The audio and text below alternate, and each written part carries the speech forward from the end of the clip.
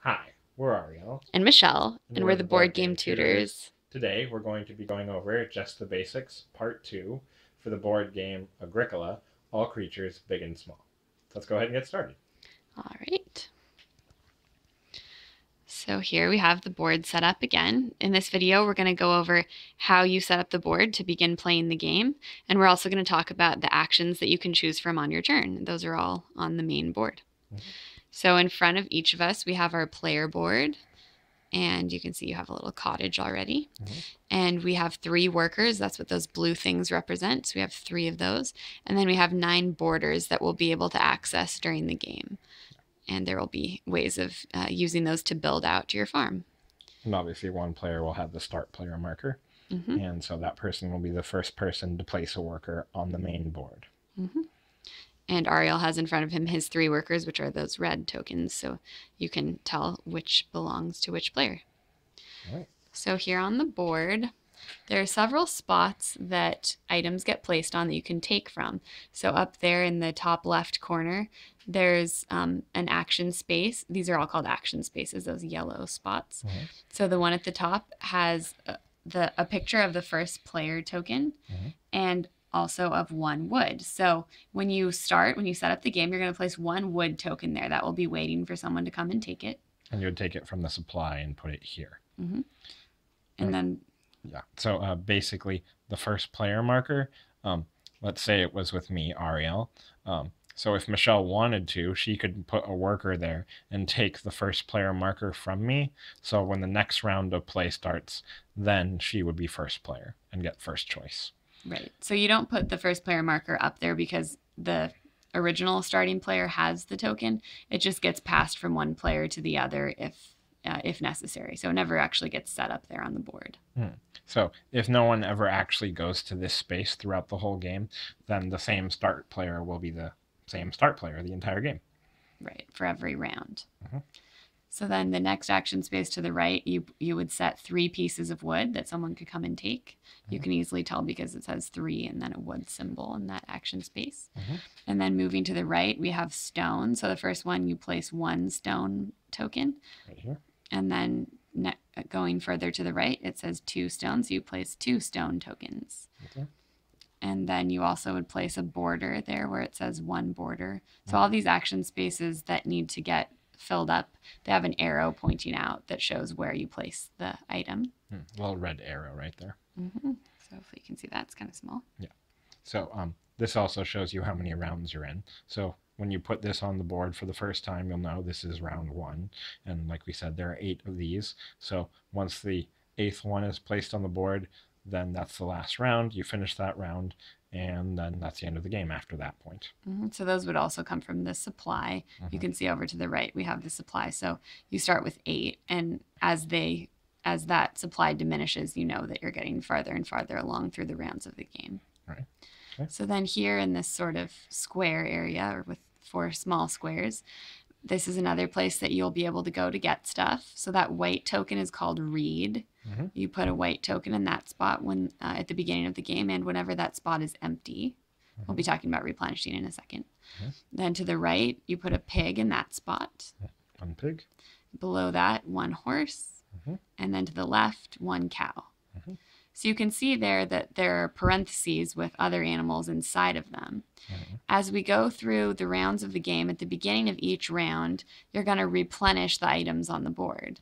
So first, you'd go to the top where the wood is, and you'd place the same amount of wood. So even if that w- one wood token is still left there because no one took it during the previous round, it stays there, and you place a new one from the supply. Yeah. So basically, things can start to build up because you can add to what was already there. Mhm. And then same with the three wood, you always add three wood at the beginning of the next round, regardless of whether what was there was taken. Mhm. Same with the stone, you add one stone to that action space. And then going further over, you always add two stone. And then you add uh, another fence if no one took, uh, not fence, another border uh, there. So you would take one from the supply and put one right here. Yeah, and you'd add it regardless of whether someone took the one that was there or not. Right. So if someone took this, you would still add one, um, even if. But then if this was still here, you would still add one. So Mhm. regardless. So then when you go down to these animal spots, you're going to add something different if the item wasn't taken. So if that white reed is still there, you're not going to add another reed, you're going to add a sheep. And you see that sheep symbol in parentheses. Mhm. So that's how you know. So you take that sheep Mhm. and put it in that spot next to the reed. So the next during this coming round, if someone goes to that spot, they get a reed and a sheep. Mhm. And it could continue to build up if no one took it. So you'd add another sheep the next round. Mhm. Where the pig is, you don't add another pig, but you add another sheep if that pig is still around. So yeah, we would just um, I'm just moving it over here for illustrative purposes, but you would put it in both if that's where you needed to do. hmm And then where the horse is, you wouldn't add another horse. If the horse was still there, you would add another sheep. Mhm.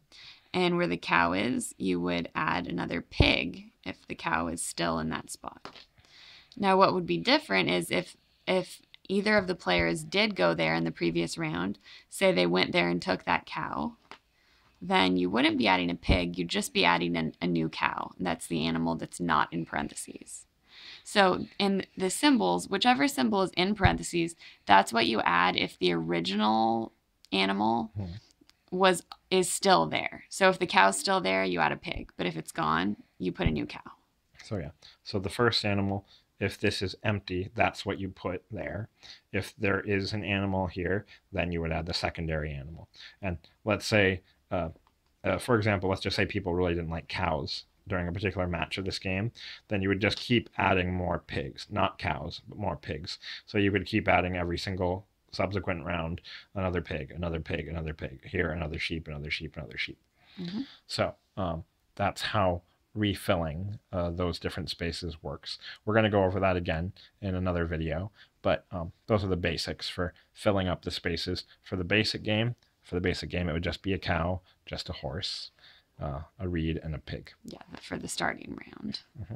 So um, those animals in parentheses, those are for subsequent rounds. hmm Okay, so now that we've gone over basically what you put onto the board to refill different spaces, let's go over everything else. So here, um, uh, basically, obviously, this game is all about collecting different resources to build different buildings, to build fences and whatnot, and also to collect animals. So obviously, you're going to have to construct structures that will hold those animals and fences and whatnot. So this first space right here says unlimited. You can exchange one wood token, so these brown tokens up here, one wood token for one border or one fence. So if I take my red worker and put it here, then however many wood I have in my supply, so if I've collected several wood pieces over there, I can exchange one wood piece for any of the border pieces in my supply. So let's say, for example, um, illustrative purposes, let's just say I had one. So I could take this one wood, give it back to the supply, and this is my supply of different borders that I can use. Now I can begin constructing a fence to keep my animals penned in. So that would just be that. And you can do that for however many wood you have because like it said on the space, it's unlimited. It's only limited by how many wood you have. So here I only have one. If I had five, I could do five. Um, or also, as you can see, I now have one, two, three, four, five, six, seven, eight. So even if I had nine wood, I couldn't do nine fences because I don't have enough. So basically, you're limited by how many wood you have and by how many borders you have. And so obviously, you'd use this to construct an area to put your animals inside of.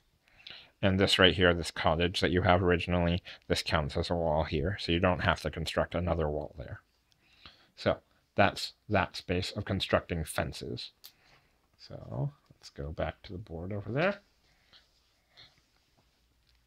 So, um, like we briefly explained before, these spaces, if I put my worker here, I'd take the resource. If I put my worker here, I'd take that resource, etc. But um, now, if I put my worker here, this says I can get two borders for free. So I don't have to pay any building resources to get those two free borders. And also unlimited, I can spend two stone to make one extra border. So like I said before, it's limited by what you have in your supply. So if you look at my area here, I could only make a maximum of nine uh, borders. In this particular area, it's called a wall, but they serve the same exact fun function as a fence. So uh, if I chose this action up here, I'd get two borders for free, so I wouldn't have to pay anything for them in terms of resources. So I could build two walls for free. And if I had two stone, two stone, not just one, then I could build another wall. So uh, the important thing you need to know about this is the fact that it's in units of two. So I'd have to spend four stone if I wanted to build two more borders onto my current farm. Um, and obviously, uh, this is obviously a lot more expensive than using wood, because with wood you only have to pay one wood to build one fence, but here you get two free borders. So it's obviously a cost benefit analysis. You have to do there like okay do i have more stone or do i have more wood right now?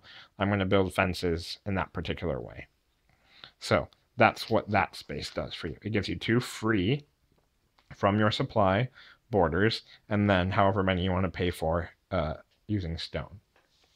Okay. so that was that. Let's say um, i wanted some more resources. If i go to this space right here this is not a refill space like all of those spaces up there, but this space gives you one wood from the supply, one stone from the supply, and one reed from that supply. So you're asking yourself, maybe, why would I want to go here when I can get three wood over there? Well, one reason you might want to do that is if, let's say, Michelle stole that space from me and she got the three wood. Well, now at least I get one wood, one stone, one reed. So that's still pretty useful, but I didn't get three wood like I originally wanted.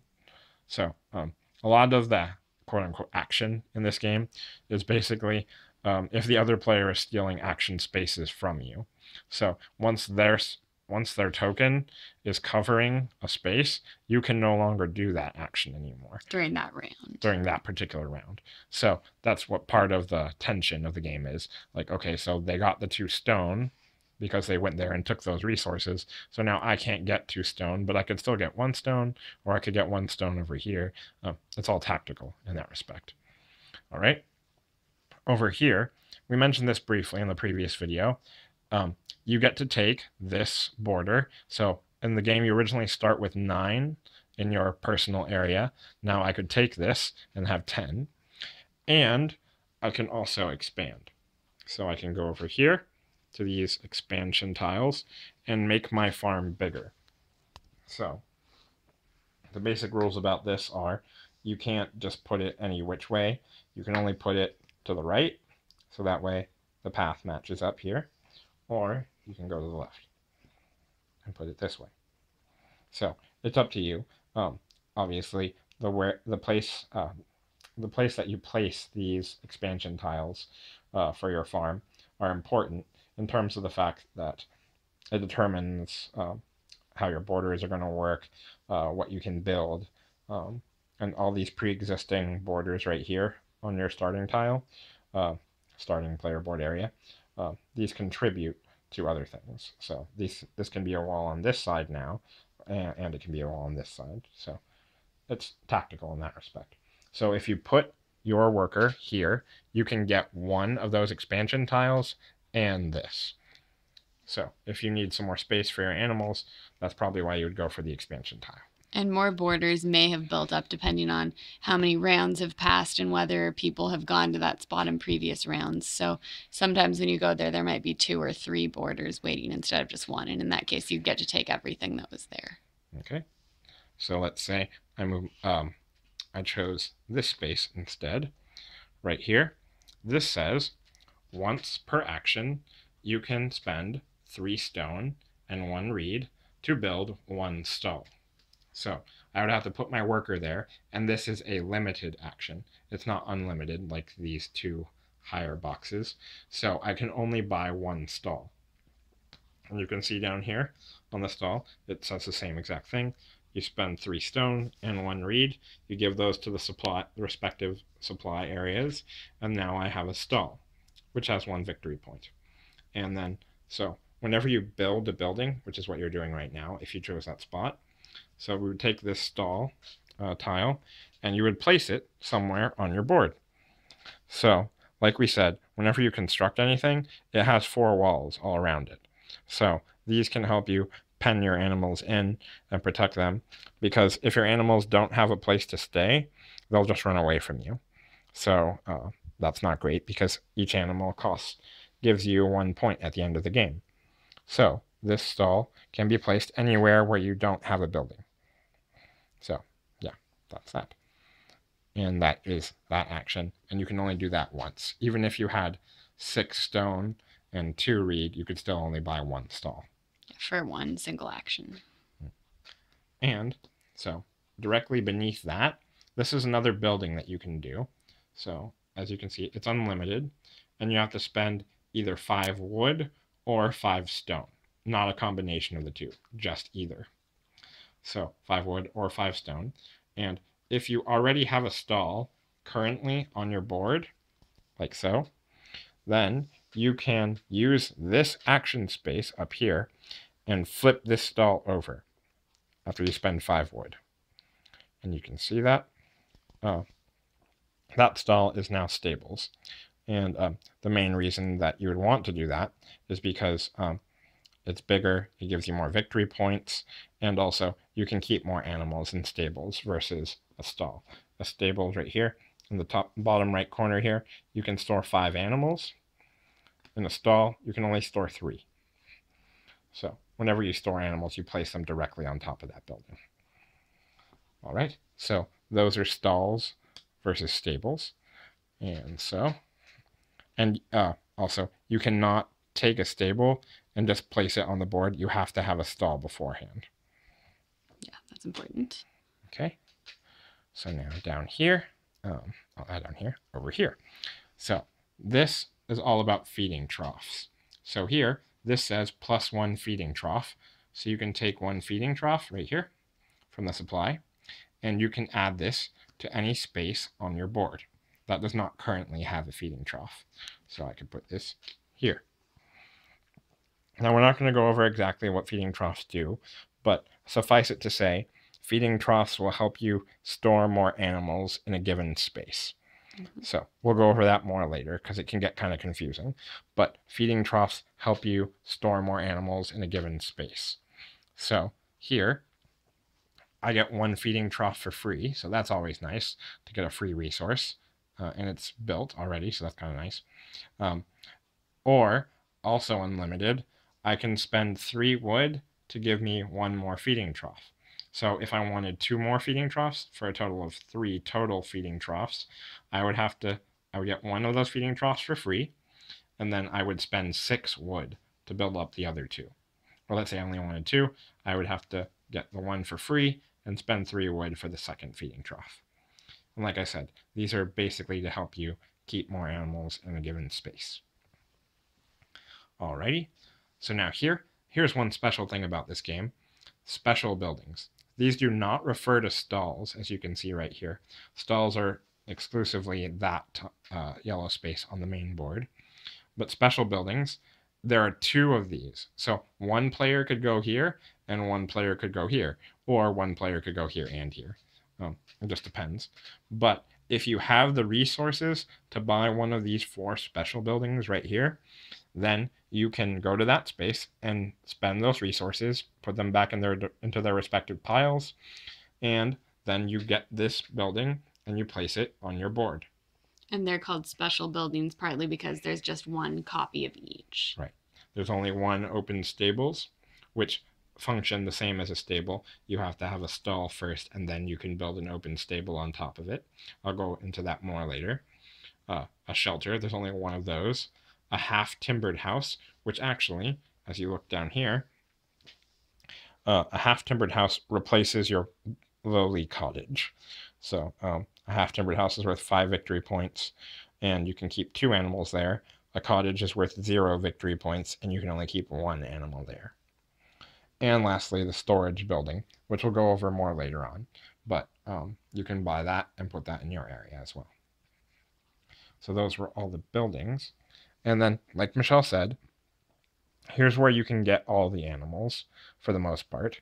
and some reed as well. And as we explained, uh, sheep come in after uh, this first reed. So if there was one reed there, then you, uh, the second animal, uh, uh, it's not really the first animal, but uh, if you put, um, if this reed is still there, you put one sheep or a second sheep in the following round after that, a third sheep after that, etc. Uh, pigs, and then following that are sheep again. Horses first, and then sheep following after that, and cows first with pigs following after that. Mhm. So, an example of getting an animal would be um, if Ariel wanted to um, maybe get a cow, then he would just put his uh, worker in that spot and take the cow. So, it's just, it goes only to that specific square, basically. And so I would pick up that cow. I would go to my player board.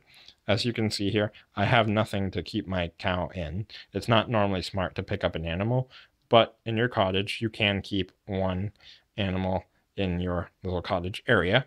So I'm going to get that cow and put that in my cottage.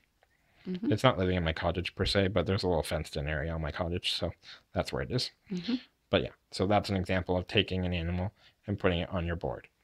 Also, one more clarifying point.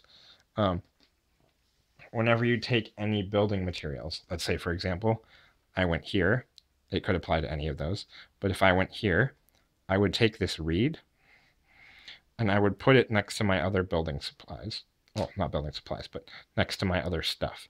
Like, you don't really have space to put your stuff on your farmer board, so just put it next to your farmer board, Mhm. next to your workers, next to your possible borders, etc.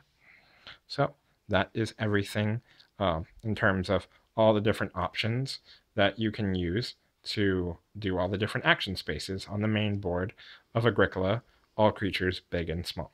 And since you have three workers on every turn, you're going to get to place three workers, which means you're going to get to do three of these actions. And you and your opponent will be taking turns placing the workers. So that gives you an idea of how you'll be choosing. Once they take something, then you can't do it. So you'll have to prioritize and see what's best for you to do every every turn. Right. So yeah, like I would put mine down, Michelle would put hers down, I would put mine down, Michelle would put hers down, etc. All right. All right. So if you guys have any questions, comments, concerns, clarifications, uh, please contact us, email us, or get in touch with us. Leave us a comment. Um, we appreciate all of your feedback. Um, if you enjoyed the content of this video and would like to see more regular updates from us, please subscribe to our YouTube channel, The Board Game Tutors, and check us out on uh, BoardGameGeek.com and give us likes there too if you enjoyed this content as well. Thanks so much for watching, and we'll see you in the next video. All right. Bye, everybody. Bye.